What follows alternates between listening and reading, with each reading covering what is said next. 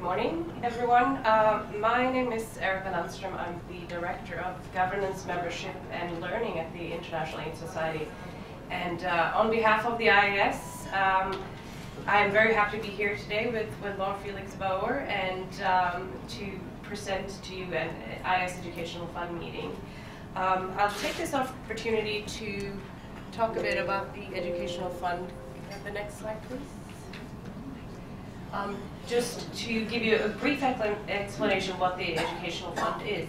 So the um, this is a fairly new program uh, that was launched in 2016, and uh, with the aim to make scientific discoveries and continuing education opportunities more accessible to uh, frontline HIV um, professionals, including um, IS members. The uh, Education Fund has four components. One of them is the, the meeting that we are at today. We have um, meeting, meetings such in, in different regions, um, workshops and symposia following the, the, the, different IS conferences, so the International AIDS Conference and the IS Conference on HIV Science. Um, since the program kicked off in 2016, we have organized um, 17 meetings as, as such, and if you just click on the, the next slides and click a few times, you will see that uh, we've been in, in many places all over the world. And if you click a few more, this is where we are today. Um, so I'd like to take the opportunity to thank the, the partners that we've been working with, um, the IAC um, linkages and of course the, the Ministry of Health as well, and uh, also our donors, ViiV Healthcare, uh, without whom we wouldn't be here today. Um, next slide, please. Um, no, if you go back one. Just go back one, please.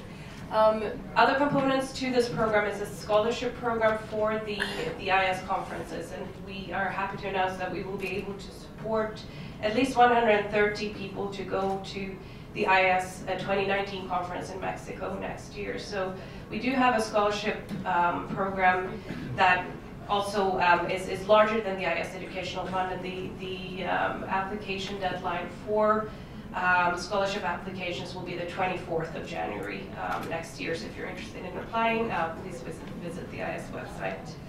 Um, other components um, include uh, online resources from conference sessions, so we, we try to make sure that people who can't go to the conferences can also access them online, and we do have certain sessions subtitled into two different languages.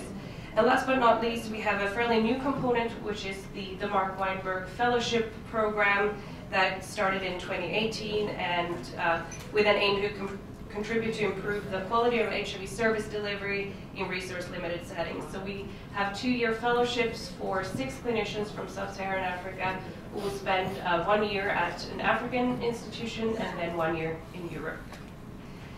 Next slide, please. Um, just wanted to also take this opportunity to flag that if you're not already an IS member, because IS is more than uh, just a meeting organizer, we have a um, membership of more than 12,000 people from all over the world, so more than 160 countries. If you're interested in signing up as an IS member during this meeting, um, you will have a discount. Um, as, as was said before, uh, I will be at the table over there, and, and we will be able to um, answer any questions you might have um, about IS membership. So we will look forward to um, having conversations with you, and, and, I hope that you will find um, this meeting useful. Terima kasih.